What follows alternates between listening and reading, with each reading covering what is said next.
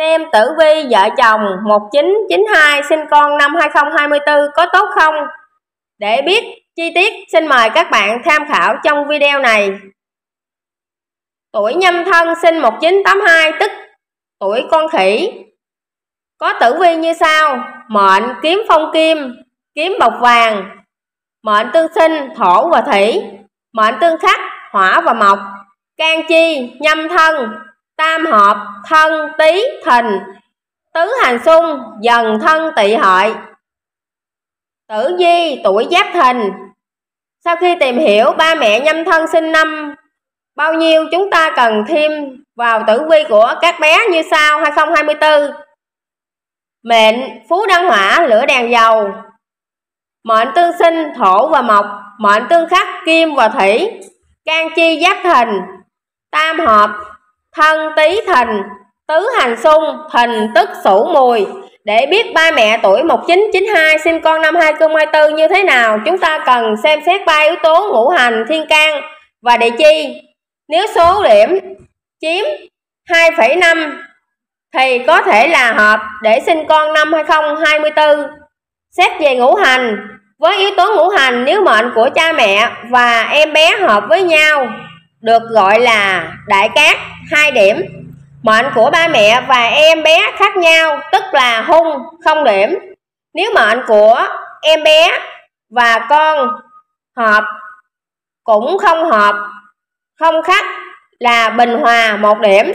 Dựa theo đó, ba mẹ 1992 có mệnh kim khắc với mệnh của em bé 2024 là mệnh hỏa. Do đó, hỏa khắc kim là điều hung không tốt không điểm. Chúng ta hãy xem xét hai yếu tố còn lại để xem. Thế nào nhé? Xét về thiên can. Để xem ba mẹ 1992 có nên sinh con 2024 không chúng ta hãy xem thêm đến yếu tố thiên can. Theo đó thiên can của ba mẹ tương hóa tức hợp với con là một điểm. Nếu ba mẹ và con bình hòa là 0,5 điểm còn ba mẹ và con tương khắc không hợp nhau là không điểm. Với yếu tố này ba mẹ tuổi nhâm thân. Có thiên can là nhâm con tuổi giáp thìn có thiên can là giáp. Vậy thiên can của ba mẹ và con không khắc cũng không hợp tức bình hòa với nhau là 0,5 điểm. Xét về địa chi cuối cùng là yếu tố địa chi. Nếu cha mẹ có địa chi hợp với con là cát, hai điểm. Nếu ba mẹ có địa chi không khắc cũng không hợp với con là bình hòa một điểm. Và ba mẹ có địa chi khắc con là hung không điểm.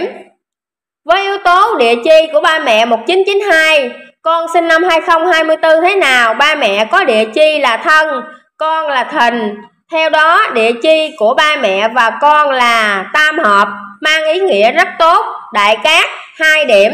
Như vậy ba mẹ tuổi thân 1992 sinh con năm 2024 là hợp tuổi. Vì tổng số điểm xét trên ba yếu tố ngũ hành thiên can địa chi là 2,5 điểm. Tuổi ba mẹ và con là bình hòa không xung không khắc cũng là một điều tốt